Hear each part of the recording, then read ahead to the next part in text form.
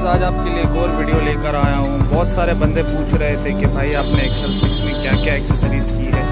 तो उसके बारे में आज आपको छोटा सा डिस्क्रिप्शन करूँगा इस गाड़ी के ऊपर। जैसे कि आप फ्रंट से स्टार्ट करेंगे फ्रंट में देखेंगे कि हमने इसमें डीआरएल लगाया है। डीआरएल जो कि इसको एक बहुत अट्रैक्टिव लुक दे रहा है। टर्निंग है। लेफ़्ट एंड राइट साइड दोनों साइड टर्निंग है इसमें मैट्रिक्स टर्न और थोड़ा और वॉक अराउंड करेंगे गाड़ी का। इसको एक इन्हेंस करते हमने इसमें विंडो गार्निश किया है क्रोम गार्निश हैंडल क्रोम है डोर मोल्डिंग किया हुआ है, और इसके साथ साथ में हमने इसमें लगाया है डोर गार्ड जो कि इसको और अच्छा अट्रैक्टिव लुक दे रहा है।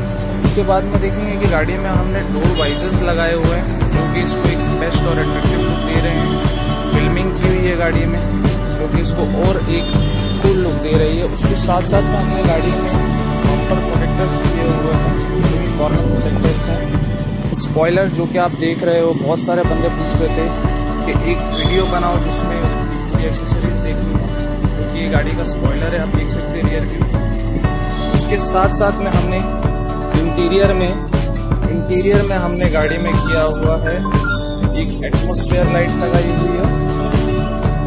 आपको दिखाते हैं अंदर से इसमें आप, इसमें 11 कलर्स हैं। और साथ साथ में ये म्यूज़िक में भी रन करता है। जैसे जैसे म्यूज़िक आपका रहेगा, वैसे ये रन करता है, जो कि इसको एक अट्रैक्टिव लुक देता है साथ में। मैं बताता हूँ आपको।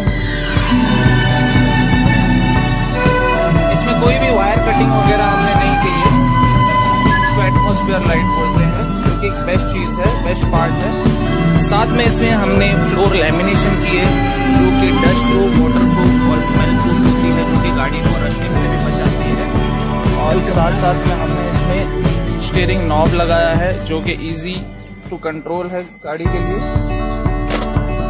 प्लस अभी आप देखोगे तो हम इसमें सीट कवर इंस्टॉल करने जा रहे हैं, जो कि आपको दिखाता हूँ, इसके सीट कवर आ चुके हैं। ये इसका सीट कवर आ चुका है, जो कि एक ब्लैक एंड रेड का कॉम्बिनेशन है। बीच में एक बहुत अच्छा पैटर्न का डिज़ाइन है, जो कि इंस्टॉलेशन के बाद आपको